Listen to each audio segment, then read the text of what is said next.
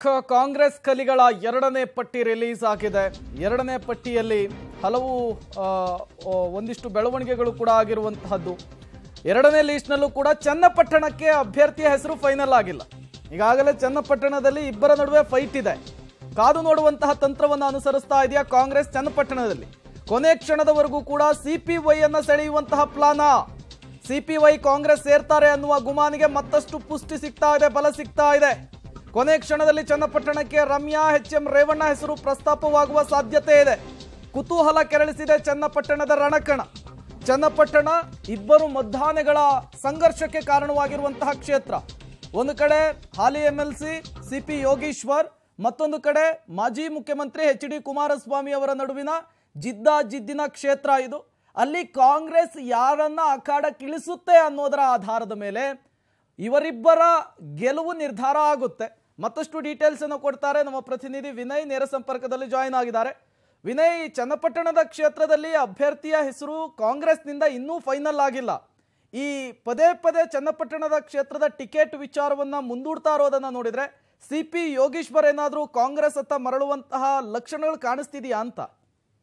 ಖಂಡಿತವಾಗ್ಲೂ ಪ್ರೇಮ್, ಈ ರೀತಿಯ ಒಂದು ಪ್ರಶ್ನೆ ಎಲ್ರಿಗೂ ಕೂಡ ಕಾಂಗ್ರೆಸ್ನ ನಾಯಕರಲ್ಲಿ ಉದ್ಭವ ಆಗ್ತಾ ಇರುವಂತದ್ದು ಯಾಕಂದ್ರೆ ಕೆಪಿಸಿಸಿ ಅಧ್ಯಕ್ಷರ ತವರು ಜಿಲ್ಲೆಯಲ್ಲೇ ಈ ರೀತಿ ಒಂದು ಕ್ಷೇತ್ರಕ್ಕೆ ಅಭ್ಯರ್ಥಿ ಆಯ್ಕೆ ಸಾಕಷ್ಟು ಕಡ್ಡಂಟಾಗಿರುವಂತದ್ದು ಯಾಕಂದ್ರೆ ಮೊದಲನೇ ಪಟ್ಟಿಯಲ್ಲಿ ನನ್ನ ಹೆಸರು ಇಲ್ಲ ಅಂತ ಸಂಭಾವ್ಯ ಅಭ್ಯರ್ಥಿ ಕಾಂಗ್ರೆಸ್ಗೆ ಕೈಕೊಟ್ಟು ಜೆಡಿಎಸ್ ಅನ್ನು ಕೂಡ ಈಗಾಗಲೇ ಸೇರ್ಪಡೆ ಆಗಿರುವಂತದ್ದು ಅದಾದ ಬಳಿಕವೂ ಕೂಡ ಎರಡನೇ ಪಟ್ಟಿಯಲ್ಲೂ ಕೂಡ ಕಾಂಗ್ರೆಸ್ ಅಭ್ಯರ್ಥಿಯ ಹೆಸರು ಘೋಷಣೆ ಆಗಿಲ್ಲ. ಹಾಗಾಗಿ ಕೊನೆ ಕ್ಷಣದವರೆಗೂ ಕೂಡ ಕಾದು ನೋಡುವ ತಂತ್ರಕ್ಕೆ ಕಾಂಗ್ರೆಸ್ ನಾಯಕರು ಮುಂದಾಗ್ತಾ ಇರುವಂತದ್ದು ಚನ್ನಪಟ್ಟಣ ಕ್ಷೇತ್ರದಿಂದ ಯೋಗೇಶ್ವರ್ ಅವರನ್ನ ಕಾಂಗ್ರೆಸ್ ಅಭ್ಯರ್ಥಿನಿಯಾಗಿ ಕಣಕ್ಕಿಳಿಸಬೇಕು ಅಂತ ಕಾಂಗ್ರೆಸ್ ನಾಯಕರು ಈಗಾಗಲೇ ಸಾಕಷ್ಟು ದಿನಗಳಿಂದ ಯೋಗೇಶ್ವರ್ ಅವರಿಗೆ ಗಾಳವನ್ನ ಹಾಕ್ತಾ ಇದ್ರು, ಅವರನ್ನ ಕರೆತರುವಂತ ಸಾಕಷ್ಟು ಪ್ರಯತ್ನಗಳನ್ನು ಕೂಡ ಮಾಡ್ತಾ ಇದ್ರು. ಹಾಗಾಗಿ ಇನ್ನೂ ಕೂಡ ಹೆಸರು ಘೋಷಣೆ ಆಗದೆ ಇರುವಂತದ್ದು ಸಾಕಷ್ಟು ಕುತೂಹಲವನ್ನ ಕೆರಳಿಸಿರುವಂತದ್ದು. ಯಾಕಂದ್ರೆ ಬಿಜೆಪಿಯ ಮೊದಲ ಪಟ್ಟಿಯೂ ಕೂಡ ಬಿಡುಗಡೆ ಆಗಿಲ್ಲ. ಹಾಗಾಗಿ ಅಧಿಕೃತವಾಗಿ ಯೋಗೇಶ್ವರ್ ಬಿಜೆಪಿ ಅಭ್ಯರ್ಥಿ ಅಂತೂ ಕೂಡ ಹೇಳಲಾಗ್ತಾ ಇಲ್ಲ. ಹಾಗಾಗಿ ಒಂದು ವೇಳೆ ಸಿ ಪಿ ಯೋಗೇಶ್ವರ್ ಅವರನ್ನ ಕೊನೆ ಕ್ಷಣದಲ್ಲಿ ಮನವೊಲಿಸಿ ಅವರನ್ನ ಕಾಂಗ್ರೆಸ್ಗೆ ಕರೆತರುವಂತಹ ಲಕ್ಷಣಗಳು ಕೂಡ ಹೆಚ್ಚು ದಟ್ಟವಾಗಿರುವಂತದ್ದು. ಅದಲ್ಲದೆ ಈ ಒಂದು ಕ್ಷೇತ್ರದಲ್ಲಿ ಅಚ್ಚರಿ ಅಭ್ಯರ್ಥಿ ಆದ್ರೂ ಕೂಡ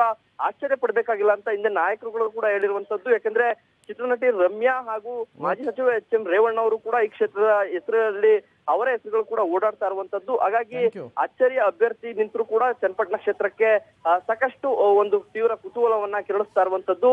ಒಂದ್ ರೀತಿ. ಇಲ್ಲಿನ ಅಭ್ಯರ್ಥಿ ಆಯ್ಕೆನೆ ಕಾಂಗ್ರೆಸ್ನಲ್ಲಿ ಕಗ್ಗಂಟಾಗಿದ್ಯಾ ಅನ್ನೋ ಒಂದು ಪ್ರಶ್ನೆ ಕೂಡ ಮತ್ತೊಂದ್ ಕಡೆ ಉದ್ಭವ ಆಗಿರುವಂತದ್ದು Prem. Okay thank you Vinay ತಮ್ಮೆಲ್ಲ ಮಾಹಿತಿಗಾಗಿ.